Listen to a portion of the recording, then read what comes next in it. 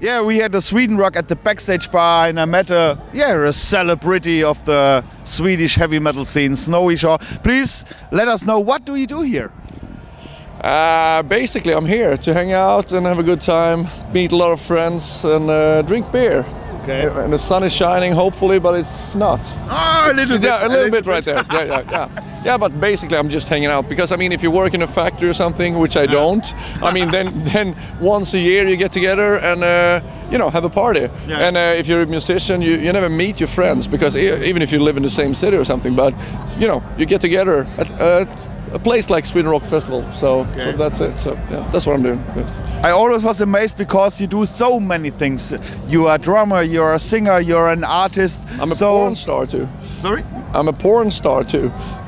Oh yes, okay. Yeah, okay, okay. Zoom So- in. okay. So where did you put the focus on right now? Uh, I'm trying to earn a living somehow. so that's what I'm doing. No, but uh, the focus right now is that we are we are uh, just about to, to record a new Therion album. Okay. Uh, so I wrote a couple of songs for that and uh, came up with some melodies on Christofer's songs and stuff like that. So it was supposed to be done in uh, in the spring, but I guess it's a little bit late for spring now. So it's yeah, it's going to be in the summer, I guess. But you did the classical thing, I think, before. Huh? Uh, what do you mean the new DVD that Yeah. came out? I wasn't involved with- that one, Ah, so okay, so, so yeah, Yeah. yeah. I actually was I was you know, like you said, I do so many different things. So I designed the stage and everything for that concert, but then the, I think it was recorded in Bulgaria or something like that. I don't know, but somehow there were some. Uh, Bad communication, so uh, yeah, they fucked me up or something like that. So I never got paid, so they, they never used it. Something, yeah, but I do stage props, I do uh, artwork for bands, I do uh, take photography. Uh, you know, I'm a photographer. Yeah, but I do a lot of stuff. So I, I sort of like design things and help people out, like newer newer bands and and uh, you know, sort of like refining their style and finding their direction and tell them skip that shit and focus on that instead. Because yeah, and I do a lot of different things. So I play bass in a cover band. no, no, really. Yeah, yeah, but I mean, yeah, but yeah, I play drums, of course, and I have this band called Triple X, and uh, yeah, so we, I just form my own label, start my own label, so I can, you know, basically put it out like uh, in different territo- territories, uh, yeah, by license and stuff like that. So that's I what I'm always was a fan of your drumming in uh, Mercyful Fate and uh, Memento Mori. Okay. So, uh, and as once saw you, we just talked about it before, Yeah. playing a bass drum from two sides with a Yeah, pedal. instead So, of having it like that, like the front head there, I put it like that. So I had one leg on each side, so I can Yeah. and one pedal on each side. So yeah, but that is just a gimmick, a bullshit thing that I came up with just to make the video interesting. So Okay. I didn't have any rack toms or anything like that. Instead, I had like six floor toms around Yeah. So of course I couldn't play it like that, but it was just a video. so Yeah, what yeah. do you enjoy most? Singing, playing drums, playing another instrument, or doing uh, the artwork? Basically, I mean, I- I'm mostly interested in sort of like creating the whole thing, like I did with Notre Dame, uh, for example. Uh, because then I wrote all the music, and I basically, this is not official really, but I mean, I played all the instruments. It was just me actually. so, so, uh, yeah, but I mean, I'm mostly concerned about creating something, a cool uh, concept, and, and uh, writing good songs. I mean, so it doesn't really matter if I play the drums or if I play or if I sing or something like that. But I mean, if it's my band, I think it's better that than than the.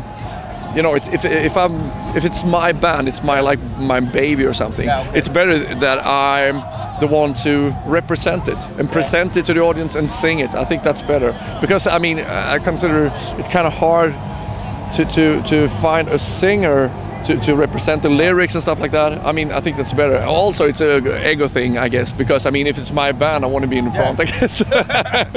yeah, but I mean, I really appreciate being in Therion because it's sort of like a pretty uh, well-established band that tours around the world, and you know, and to be able to to front a band as the singer, that is my true calling, I guess. You know, Yeah. instead of I'm, I'm pretty tired of being the guy in the guy in the background. I guess it's But not you it's you- not my true element. Even as a drummer, you make sure that everybody was recognize Yeah, but I mean, it's nothing. It's nothing that I really thought of. But I mean, it just comes out that way. I guess So some people are. I guess you know I draw attention somehow. I don't. I don't know, but but I mean, You yeah. get attention when walking through here, so. yeah, I don't know why, but I mean, you know, Oh, I yeah, don't yeah, yeah, yeah, but I mean, yeah, but people are different, I guess, you Yeah. know, so, so, yeah, yeah. So w- when you started uh, being in the heavy rock, heavy metal scene, what were your influences when you first started with everything? my interest, No, the, the influence. my influences, yeah, I, I- I'm pretty tired of saying this over and over, but I mean, I grew up, I mean, my whole life's changed when I was like, yeah, seven years old or something, and I found Kiss Destroyer. It's always the same. With that. yeah, it's always, the same. Yeah. I always love. Yeah, but I mean, because I mean, this combination and it it, it it's it it hits me so deeply and made such a huge impact on me because I was like a diehard fan of uh, of Dracula, you know, like all the uh, horror comics and stuff like that, and and superheroes like uh, Spider-Man or whatever. But here you find an album. I, I was listening to Sweet and the Purple and Nazareth and stuff like that, but I mean, it, it also had an impact on me. But Kiss, it was like, wow, here, here we have like uh, comic book superheroes that look kind of scary, and it's also music. And this this particular album, Kiss Destroyer, Bob Ezrin is such an incredible producer with all these kids crying and a car crashing and stuff like that. So wow, it's almost like a movie. It's cinematic somehow. So and from that moment on, I, I guess that is always what I wanted to to accomplish for, for myself. I guess you know. So yeah, that's what I've been doing. Even though I mean I got pretty tired of Kiss after just a few years or something like that because I think they, I shouldn't say sold out, but I mean they they they lost it. I guess you know. Never sold out. Yeah. Just made a few bucks.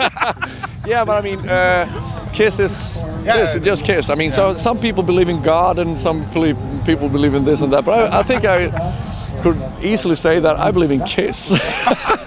so me too. So yeah, look we here. have something in common. Yeah, uh, actually, I mean, Yeah, Kiss, Ace. Kiss connects people, I guess. You know. You saw Ostra- yeah. Ace Frehley last year here? Yeah, I did. Actually, I was standing there on my own watching it, and uh, uh, you know, I started crying. Because of the I was dropouts he had? No, I mean he, he was kind of crappy to be honest. Yeah, absolutely, but yeah. I mean it was such an emotion, emotional thing for me just to see Ace Frehley. Yeah, Yeah. yeah. And Me uh, too. So I was standing there crying a little bit, but I was on my own and I was like looking around and working around for something. Yeah. Okay. Yeah. So what will be the next thing we can see of you, Uh, hear of you? yeah, hear of me. Uh, I guess you should check out the new album with Triple X because it's it's coming out in Europe pretty soon, I guess. But coming out, releasing an album these days. I mean, put it on on all the digital downloads and stuff like that, which we're gonna do, which you know, I'm gonna do with my own label and stuff like that, and. Uh, and yeah, then I guess you can look forward to the, to the next uh, Therion album. Okay. And I'm also gonna, you know, I'm also working on, on doing my solo album and stuff like that. But you know, okay. we'll see what happens. So you have a MySpace site? Of course. To the people. So Yeah, it's very, very, very easy. It's it's just uh, myspace.com slash Snowy Shaw. That's easy. Yep, very easy. Yeah. Uh, thank you for this interview, Thank you so much. and I'm sure we'll meet next year here. Absolutely. Okay. Thank you so much. Thank you.